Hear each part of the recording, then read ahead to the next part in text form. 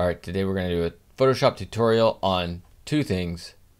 One, making a gradient, and two, using a gradient effect on text.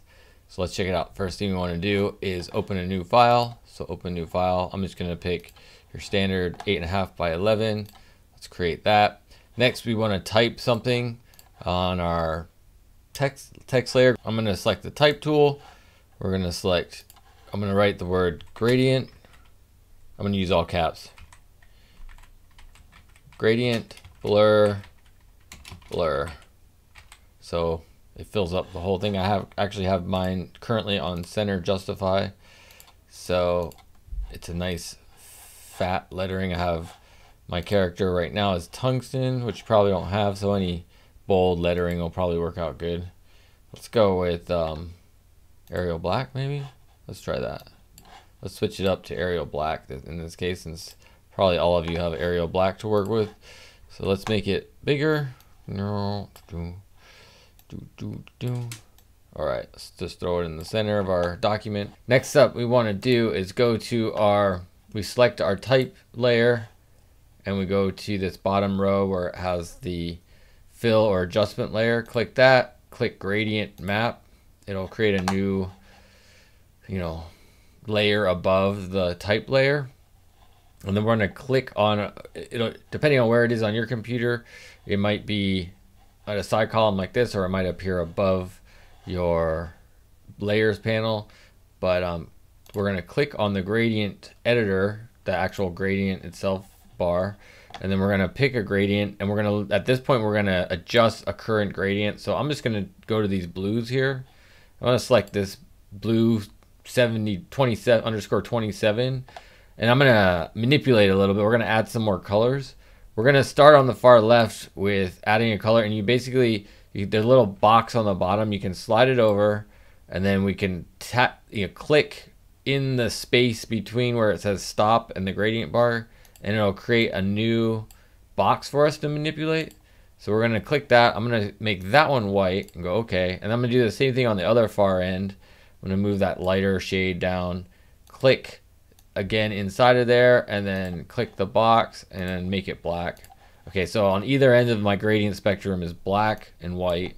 And then in the middle, I want to add some more colors in the middle. So I'm just to click kind of randomly, do that same process again.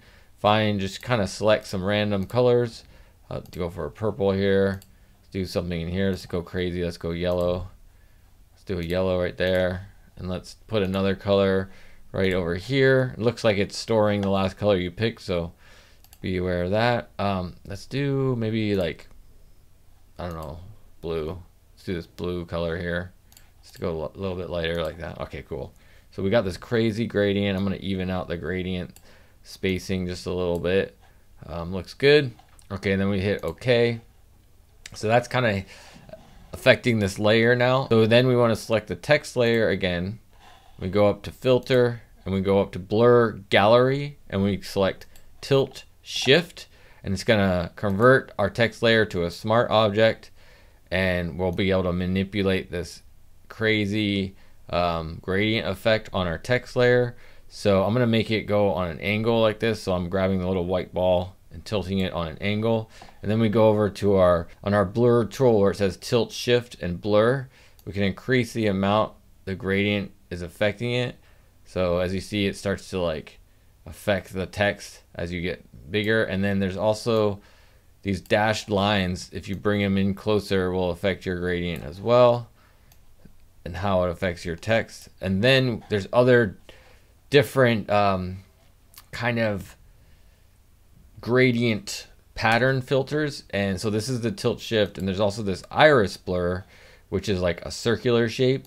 So as we increase that, everything outside of the iris gets um, blurred and we can adjust the gradient, like the shape of the iris around. And we can also add additional irises. So if we want this gradient to kind of be over here, we can add another one down here um, maybe make it smaller if we feel like. So we can kind of see different sections of our word that we're making this gradient blur filter on. All right, that's that's it for today. That's our gradient blur filter exercise. So we learned how to make a new gradient and then we uh, adding to our gradient and then we er, learned how to affect some text with this gradient. When we like what we see, we click the word, we click OK here, and then it's gonna commit the blur. And now we're back to our main Photoshop layers panel and document. All right, once we got our gradient layer made um, with our text, it's hard to use this layer in anything else when it's in this format. So I brought in this other image right here and like if you move it below the text, it it just affects the whole layer. So I'm gonna move this back out of the way. I'm gonna hide it and we're gonna select all the layers, including the background, and we're gonna merge them all together. So right click, merge um, layers. So then the background is all merged together. Once we decided we won't be able to manipulate the gradient anymore after this. If we like it, it's done. And then we're gonna grab our magic wand tool or select tool and select everything um, outside of our words and we're going to go to select inverse and then we're going to go to copy a command C then command V and paste it. Um, and let's hide our background layer. And then let's bring back that other layer we were working with. And now we can put this gradient words on top of and anywhere we want without our other layer being affected. So that's how you can use once you got your gradient like you like on your text this is how you can then use it in a, another Photoshop in the rest you know another Photoshop document. So you're gonna have to create your effect with your text in a separate document. Maybe you can cut and paste you know once you have this layer ready you can select all copy it and then bring it over to another document and paste it in there. All right. Hope that's helpful. Talk to you soon. Peace